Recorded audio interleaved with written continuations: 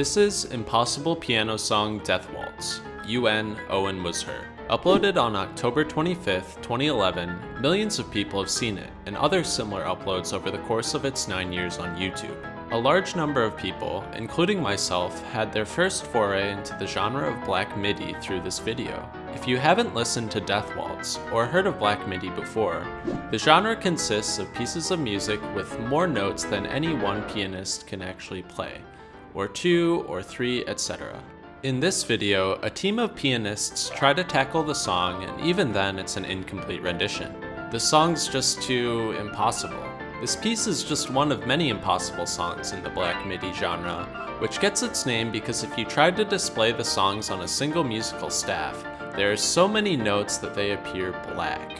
Black MIDI is unique because unlike many other genres, Black MIDI songs scale directly with computer hardware. More and more notes got added to compositions as computers were released that were able to load them, which created an arms race in the community to create compositions with the largest number of notes, with some compositions even including the GPU that was used in their title. This race has culminated in five artists, referred to as blackers, creating compositions with the maximum number of notes the MIDI file format allows. The unbeatable record is over 93 trillion notes and 256 terabytes, the data equivalent of 128,000 hours of movies. Part of the appeal of Black MIDI is watching videos of what keys would need to be pressed for the composition to be played on the piano. This often leads the genre to pay special attention to how the music appears visually, with some blackers even using programs that display the MIDI to animate in, creating images from hundreds of thousands of notes. The genre is often dramatic and bombastic, with high tempos, glissandi, and chords spanning many octaves.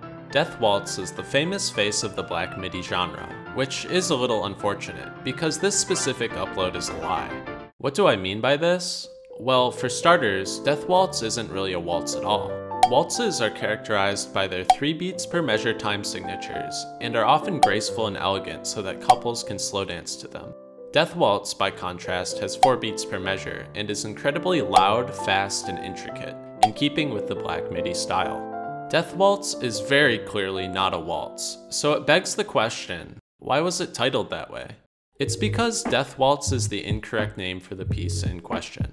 The name Death Waltz comes from the song Faerie's Aire and Death Waltz, composed in 1980 by the now deceased American composer John Stump.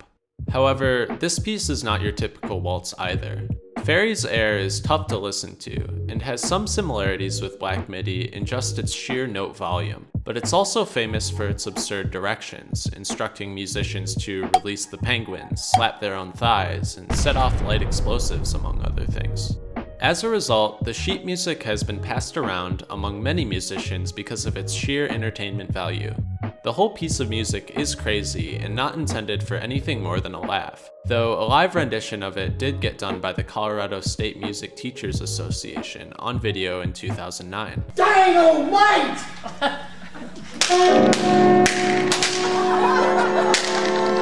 The reasons behind the piece we know and love on YouTube being titled Death Waltz aren't clear, but with a little digging, the real name is. What is the name of the piece? Well, looking at the video, you can see UN Owen was her in parentheses. This is also not quite the correct name, but it gets us in the right direction. UN Owen Was Her is a song composed by the Japanese game developer ZUN. ZUN is famous for creating a series of independent bullet hell video games called the Touhou Project, or just Touhou for short. These games have a significant fan base in both Japan and Western countries.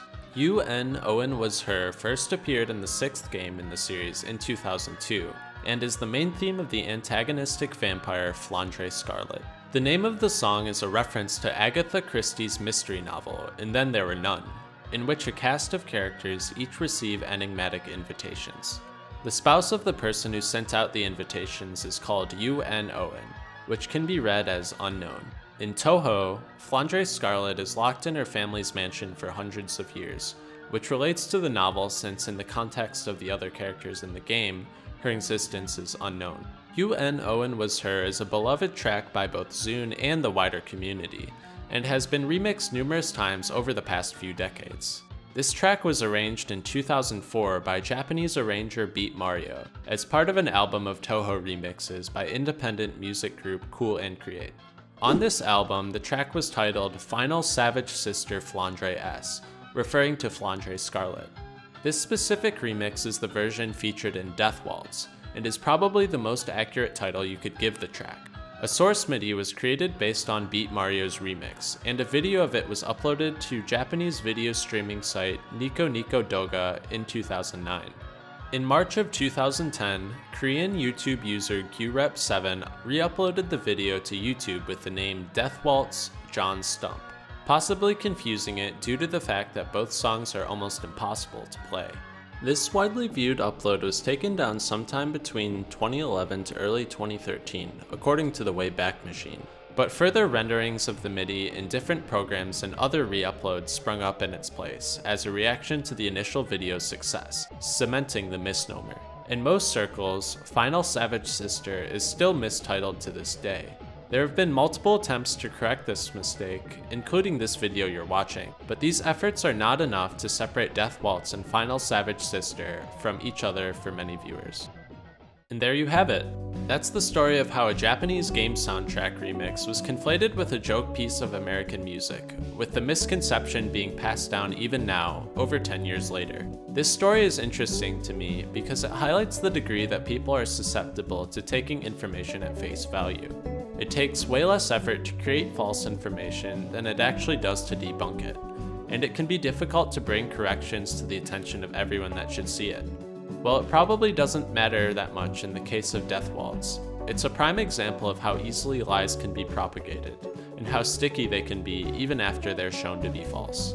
This has been Out of Characters, signing off until next time.